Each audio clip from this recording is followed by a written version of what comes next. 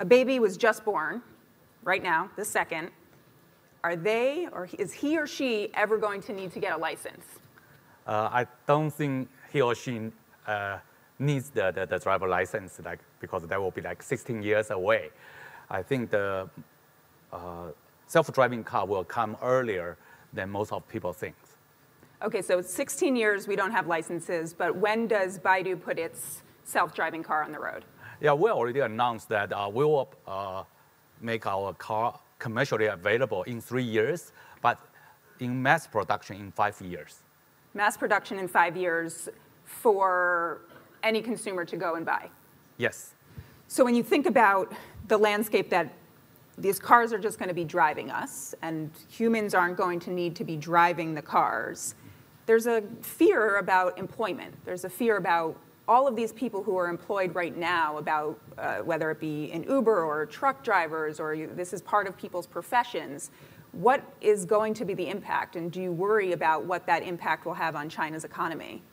Yeah, I think the, while a new technology, while it's uh, reducing some jobs, but it will create more jobs. I mean, uh, for self-driving car, of course, you will need a lot more software engineers.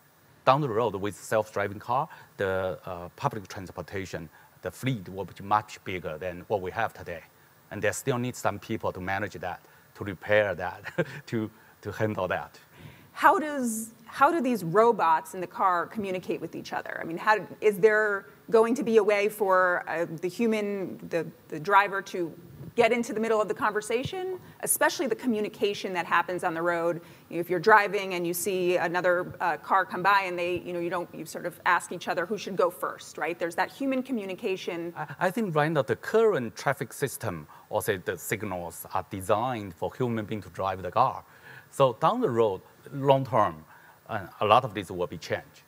But in the midterm, during the transition, I think the car need to be uh, perform along with the, the, this, the, the current traffic system. Okay. With some minor modification, like uh, I don't think right now the, the self-driving car uh, system can handle like a, a, policeman like waving to right. you. So that's much harder for, right. easy for human beings, much harder for, for police. Of, well, but will there be a way for the car to sort of, let's say, and this is what I'm picturing, and you tell me if I'm wrong, I, uh, five, six years from now, I drive to work, but the, as I'm driving to work, I'm actually working on my phone as the car is driving. Yeah. Right? Is this sort of the vision? Yeah.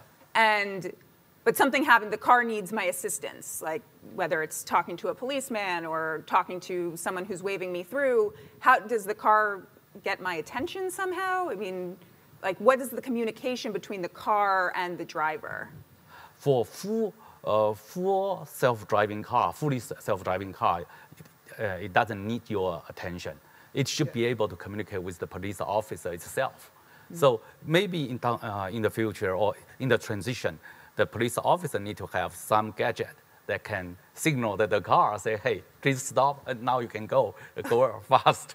yeah, maybe... that, that could be a, a, a, these kind of minor changes can be, might need to be, uh, need to happen before the self-driving car all go on the road in a mass production hmm. uh, fa fashion.